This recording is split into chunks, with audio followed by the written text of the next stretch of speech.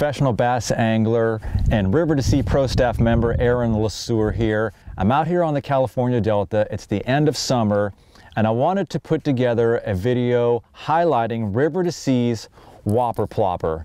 This is a Larry Bur Dahlberg design and it's kind of a combination of a few different baits. It's got a spinning tail that churns up a lot of water like a buzz bait, but yet it floats, which is more like a prop bait because you know if you, you try to kill a buzz bait, you can't really do it, it's just gonna sink.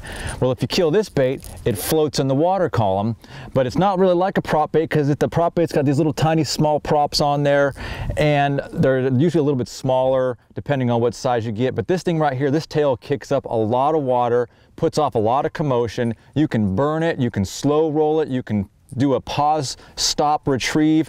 It's, it's very versatile and it comes in a lot of various colors for whatever forage base is in your local body of water and it's just got the right profile so when the fish see this bait from underneath it looks like a fish or some sort of bait on the top of the water what it's supposed to look like and it's got a totally different sound than the metal kind of uh, tinny sound you get from a buzz bait. This is a plopping sound, hence the name Whopper Plopper. So in this video, I'm gonna show you the areas where I fish it, what equipment I fish it on, and how I fish it out here on the Delta. So stay tuned. I'm gonna show you how to catch a lot of fish with this thing.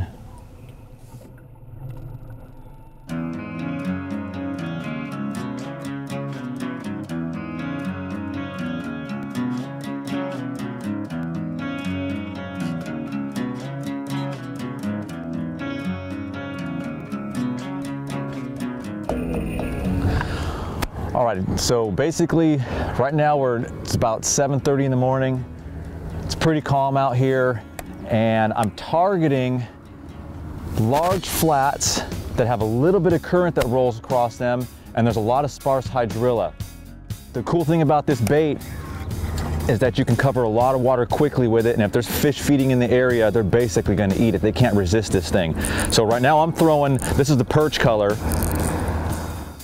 I've found that every color pretty much works out here. The, the loon, which is black, I've thrown white, I've thrown uh, monkey butt, and they, they'll basically eat everything or every, every color. So there's a couple colors I haven't tried out here yet, but everything I've thrown so far, they pretty much eat, and I haven't found that one color is better than the other. So as long as you have that, uh, the Whopper Plopper on there, choose whatever color you feel the most confident in, you're basically, you're still gonna catch them. So let's see if we can put some in the boat.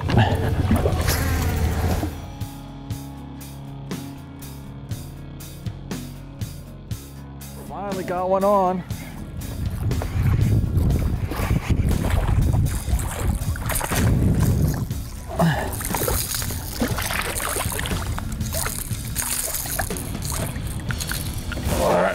There's the first one of the day. I had to go to a second spot. It's not huge. Now you want to be extra careful getting the hooks out of these fish. A couple weeks ago, I put one in the back of my hand. It was not pretty. So there's some big, gnarly, sharp hooks. Well, that's a pretty small one right there. Hopefully we're running some better ones, but at least we got the skunk out of the boat.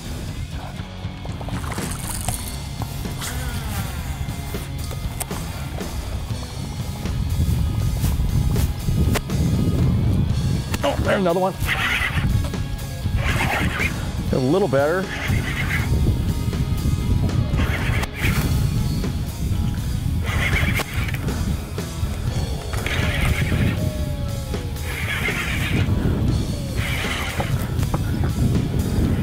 Not by much though.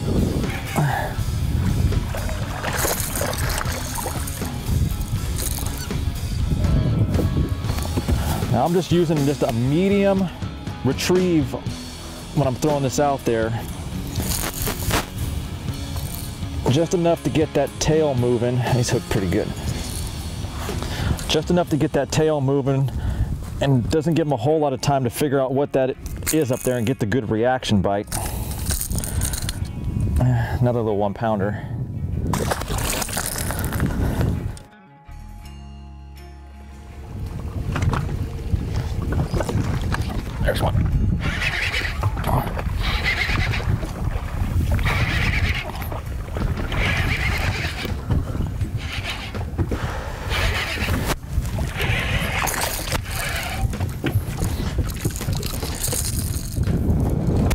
One.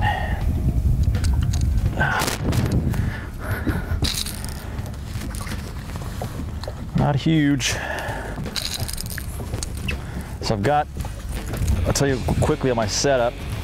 I got uh, throwing this on straight braid, it's 20 pound. And I'm throwing this on a Dobyns. it's a Randy McAbee 805 CB. And I like to throw this on the, the heavier crankbait because it gives, it's got two big old treble hooks on there. And then uh, it's got a, a, strong enough backbone to still, still let me horse those fish out of heavy cover or if they try to go in the weeds, but it's still got enough parabolic bend on the top end here that it doesn't rip these hooks right out of its mouth. So it's a perfect combination of the two. Now we just need to get ourselves some four or five pounders.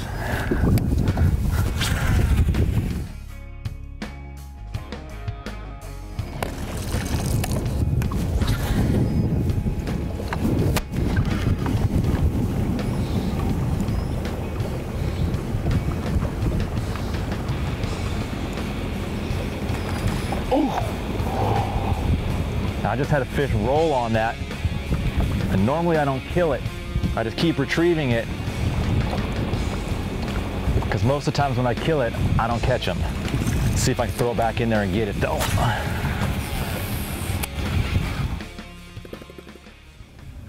So I'm taking a halftime break. You know, the conditions out here have changed quite a bit over the past three weeks to a month. About three weeks ago, we had triple digit weather. The water temps were about four to six degrees hotter and the topwater bite was off the hook.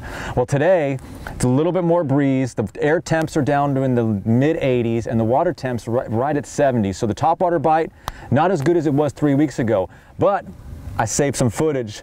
Take a look.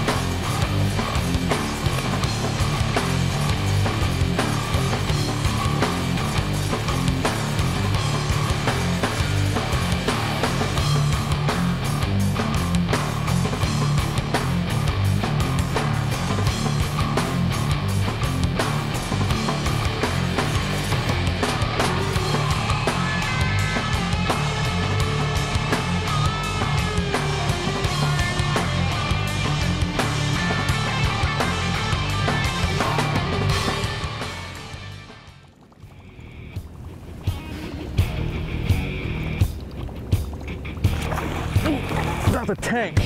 Woo! That is a tank.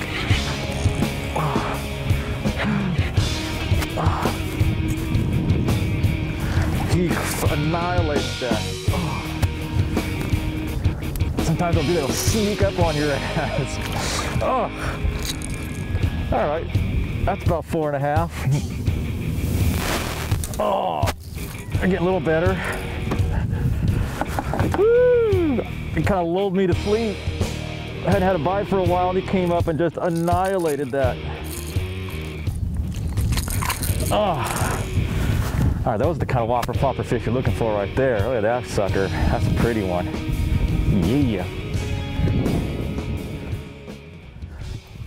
Well, I've wrapped up my day out here on the Delta. I didn't quite catch as many fish as I wanted to, but you still got to see the way the Whopper Plopper worked and it catch some fish and a pretty decent one at four and a half pounds. Let me show you real quick the setup I had today so you can pick and choose what's gonna work for you. Uh, I was throwing this today on the Dobyns, it's the, R, the 805 RMCB, which is the Randy McAbee cranking stick. It's a eight foot rod, got a medium heavy backbone and a moderate fast tip. So I can cast this thing a mile. It's got just enough give and parabolic in the tip for the fish to load up so I'm not yanking those treble hooks out of their mouth and then when I've got them I can still horse them and get them out of the cover and control those fish. Uh, I've got it on a just a regular retrieve. It's a 6.4 to 1 ratio on a Abu Revo STX and I'm throwing it again on a 20 pound braid. You can put it on 50, 60, whatever you feel comfortable with. I haven't lost a fish or broke one off on it yet, so 20 pounds is pretty much adequate. So uh, this, and I was throwing today, I was throwing the perch color. Let me show you a couple other cool colors that River2Sea offers. That's the loon, and this one here is more of a shad, and it's a monkey butt. Now the, the paint finish on these is really durable. I've been throwing, I probably have over, I don't know, 200 casts on this and over 40 fish. And if you look right up there close, I mean, the paint's barely even worn off. So these they, they last a long time. The hooks are still razor sharp. So for more information on the Whopper Plopper baits, visit river2seausa.com. You can check out the Dobyns rods at dobynsrods.com. So until next time, stay focused, fish hard, and I'll see you out on the water.